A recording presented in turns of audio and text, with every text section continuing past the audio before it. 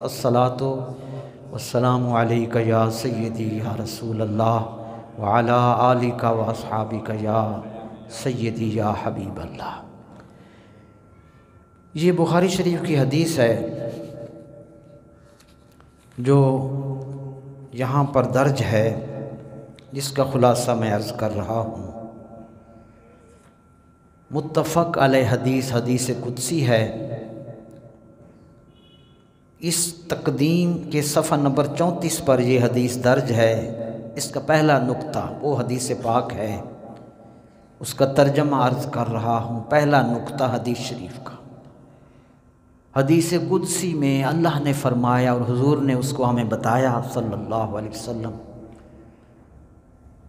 फ़ज़ाइल अलिया कि जो इंसान मेरे वली से दुश्मनी अदावत रखता है वो मेरा दुश्मन है। और मैंने उससे ऐलान जंग किया है। एक नुक्ता, दूसरा, मेरा बंदा फ़र्ज़ नमाज़, फ़राइज़ की अदायगी से, बहुत बड़ी हदीस है। मेरा बंदा मुसलमान, फ़राइज़ की अदायगी से। आप जानते हैं, फ़राइज़ बहुत से होते हैं, सिर्फ़ नमाज़ नहीं। उस पर जितने फ़राइज़ हैं, जिसमें इबादत, मामलात, अखलाकियात वग़ैरह वग़ैरह तो फरमाया हदीस शरीफ कि मेरा बंदा फ़राइज़ की अदायगी के ज़रिए जितना मेरा कुर्ब हासिल करता है, वो किसी और अमल से उतना कुर्ब हासिल नहीं करता। दो, नंबर तीन फ़राइज़ की अदायगी के बाद, फिर मेरा बंदा वो नफली इबादत के ज़रिए मेरा कुर्ब हासिल करता रहता है। तो अब वो फ़राइज़ भी अदा, नवाफिल भी अदा करता रहता है, फिर एक दर्जा आता है, एक वक्त आता है। वो फिर मेरा इतना कुर्ब हासिल कर लेता है फ़राइज़ और नवाफिल की अदायगी के ज़रिए। एक वक्त आता है, मेरा बंदा मेरा इतना कुर्ब हासिल कर लेता है। अल्लाह अकबर। मफहूम है कि पहले वो मुझसे मोहब्बत करता रहा और जब वो मेरी इस तरह इबादत में फ़राइज़ और नवाफिल की अदायगी में तसलसल के साथ बढ़ता रहा बढ़ता रहा। फिर एक वक्त वो आता है, पहले वो मोहब्बत करता था, फिर मैं उसे मोहब्बत करता हूँ। अहबत हूँ मैं उसे महबूब बना लेता अब वो आम न रहा, वो मेरा महबूब बन गया। उसे टाइटल मिला महबूबियत का। जब महबूब बना, ये चौथा नुक्ता है। इस हदीस पाक। फ़ैज़ा अहबब तो हो जब मैं उसे महबूब बना लेता हूँ फ़कुन तो सम आहुल्लजी यसमा बिही। व बसराहुल्लजी युब सिरो बिही, व यदाहुल्लती यबतिशु बिहा, व रिजलाहुल्लती यमशी बिहा। दरूद शरीफ पढ़ते रहे, सल्लल्लाहु अलैहि वसल्लम। तर्जमा, जब वो महबूब बना आम सफ़ से उठकर वो मेरे महबूबियत के दर्जा पर फायज हुआ। फिर उसका मेरे साथ क्या लिंक होता है? फरमाया, मैं उसके कान बन जाता हूँ जिनसे वो सुनता है। और उसकी मैं आँख बन जाता हूँ जिनसे वो देखता है। और उसके हाथ बन जाता हूँ जिनसे वो पकड़ता है। और मैं उसके कदम बन जाता हूँ जिनसे वो चलता है। अब इस अगला नुकता, इस हदीस की वजाहत में मुफसरीन ने दो कौल बयान की। इसका क्या माना है? सुनिए, बहुत तवज्जो से। पहला कौल मुफसरीन ने मुहदसिन ने, शारहीन ने यह बयान किया कि मैं उस, कि उस मेरे बंदे के ये आज़ा अल्लाह के हुक्म के पाबंद हो जाते हैं और उसके जिस्म के ये अज़ा उसकी मर्ज़ी के बग़ैर कभी और कहीं भी इस्तेमाल नहीं होते। एक ये माना है। दूसरा कौल जिसको इमाम राज़ी ने अली रहमा ने तफसीर कबीर में बयान किया, वो फरमाते हैं कि इस हदीस का एक मतलब ये है कि अल्लाह का नूर अल्लाह का नूर उस बंदे के इन अज़ा में सरायत कर जाता है। और फिर वो अल्लाह के हुक्म से करीब हो, बईद हो, छोटा काम हो, बड़ा काम हो, उस अल्लाह की ताकत से वो ये मुश्किल को आसान करता है। तो ये हदीस पाक और उसका मफहूम था। बिरादरान अब हम दूसरा जो अहम नुक्ता है वो आप तक ला रहे हैं कि ये हदीस पाक थी, जिसमें अलिया अल्लाह की कुव्वत का इजहार किया गया, बताया गया।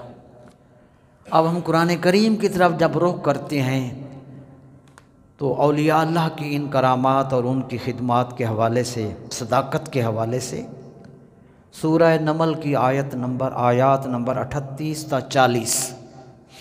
ये हमारी रहनुमाई करती हैं। बहुत दिलचस्प वाक़ है। आप सब सुनेंगे, मेरा आपका ईमान ताज़ा हो जाएगा। वो पूरी तफसील कुरान शरीफ में, सूरह अनमल में आप पढ़ लेना। मैं दो बातें अर्ज़ करके आगे चलता हज़रत सलेमान सलाम ने मलका सबा बिल्किस के तहाइफ कबूल करने से इनकार किया। तहाइफ वापस चले गए, तोहफ़ा लाने वाले भी वापस चले गए।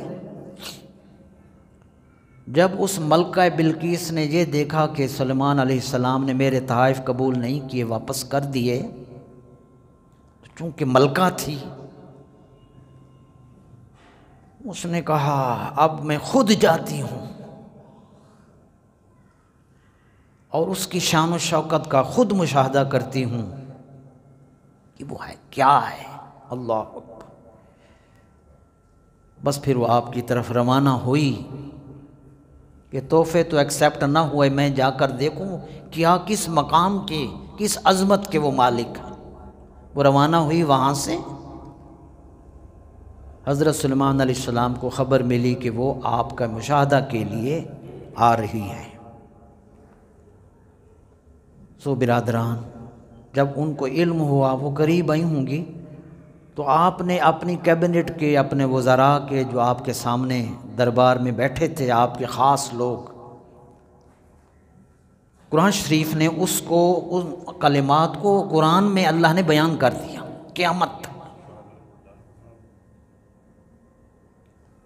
हज़रत सलेमान सलाम ने अपने दरबार में जो लोग मौजूद थे, उनसे फरमाया अयुकुम यातीनी बेअरशहा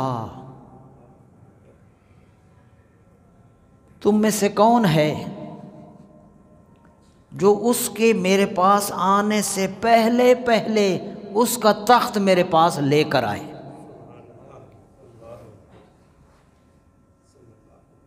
फासला कितना था? फासला तफसीर ज़ियाउल कुरान में फरमाया, बैतुल मकदस से उसका तख्त का फासला पंद्रह सौ मील था। कितना? पंद्रह सौ मील जाने में और पंद्रह सौ मील वापस आने में तीन हज़ार किलोमीटर बनते हैं, तकरीबन पाँच हज़ार। जैसे यहाँ से जद्दा शरीफ है। पाँच हज़ार आने जाने में टाइम है, इतनी दूर सलमान सलाम ने फरमाया, तुम में से कौन है? उसका तख्त उसके आने से पहले ले आए।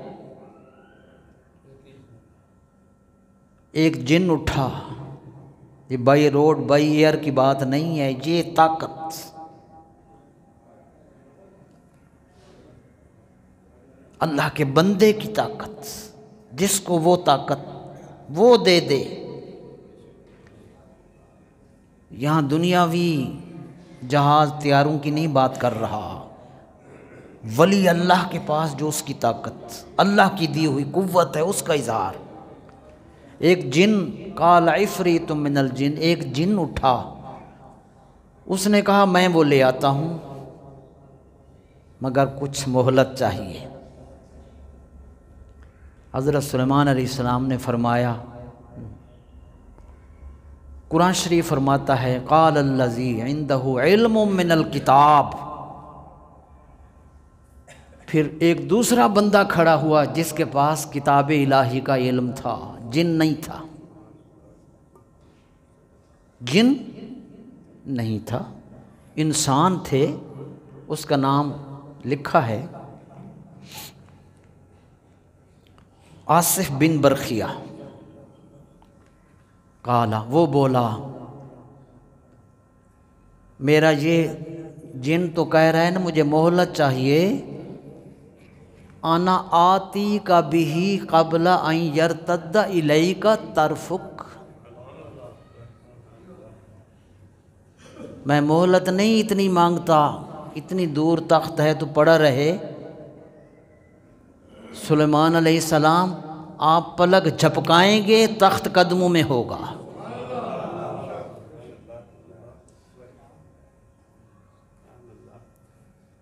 इजाज़त दे दें। उन्होंने कहा, इजाज़त है? बस पैगंबर की कर्म नवाजी फिर कुरान ये नहीं कहता कि सिर्फ़ बातें ही थीं। ना, फलम्मा राहो मुस्तकिरन इंदहू। सुलेमान सलाम ने आँख खोली, तख्त बिल्किस कदमों में था। ये बात समझ आ गई। कुरान करीम, वो हदीस कुदसी। मैं आपसे पूछूँगा, वो मशहूर शेर है, ये शान है खिदमत गारों की।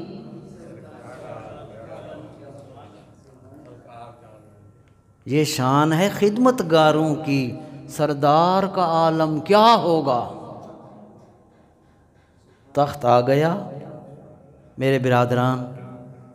अगर सुलेमान सलाम के उम्मत के वली की कुव्वत का ये हाल है तो इमामबिया हज़रत मोहम्मद मुस्तफ़ा सल्लल्लाहु अलैहि वसल्लम के उम्मत की वली की परवाज़ का क्या हाल? हो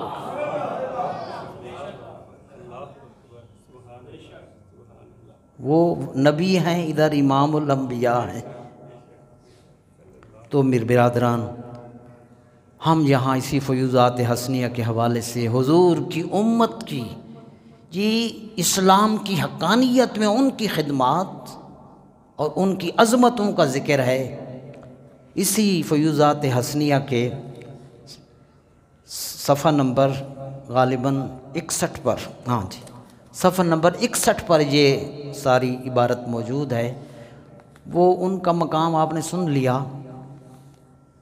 अब मैं पहले किताब का हवाला उलमा की वजह से आपको भी बता रहा हूँ, उलमा की खिदमत में भी अर्ज़ कर रहा हूँ। इस किताब में हज़रत अल्लामा बंदियालवी अलैह ने फयूज़ात हसनिया के सफ़र नंबर इकसठ पर किताब का नाम लिखा शरह अकायद उसकी शरह है नबरास। उसका हवाला दर्ज है, अरबी भी, तर्जमा भी। मैं आपको अरबी भी बताता हूँ, तर्जमा भी बताता हूँ, ताकि सुकून भी मिले, यकीन भी मिले और रूहानियत भी मिले। मैं वो अरबी पढ़ रहा हूँ जो फ़यूज़ात हसनियम के सफ़र नंबर इकसठ पर हज़रत अलामा अतामंदयालवी रहमा ने दर्ज की। फरमाते हैं, काला शेख अबू अब्दुल्ला अल याफ़ी इमाम मक्का।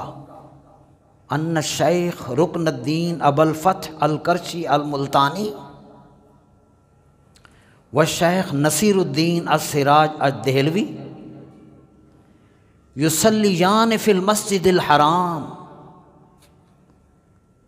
काबतुल्लाह के इमाम इमाम याफ़ी कहते हैं, काबा शरीफ के जो इमाम हैं इमाम याफ़ी रहमतुल्लाह अलैह।